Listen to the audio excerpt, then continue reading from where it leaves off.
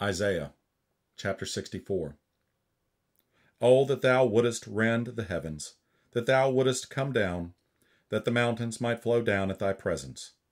As when the melting fire burneth, the fire causeth the waters to boil, to make thy name known to thine adversaries, that the nations may tremble at thy presence. When thou didst terrible things which we looked not for, thou camest down, the mountains flowed down at thy presence. For since the beginning of the world men have not heard, nor perceived by the ear, neither hath the eye seen, O God, beside thee, what he hath prepared for him that waiteth for him. Thou meetest him that rejoiceth and worketh righteousness, those that remember thee in thy ways. Behold, thou art wroth, for we have sinned, in those is continuance, and we shall be saved.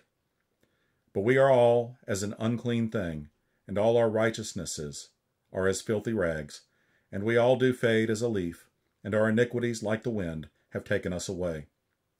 And there is none that calleth upon thy name, that stirreth up himself to take hold of thee, for thou hast hid thy face from us, and hast consumed us because of our iniquities.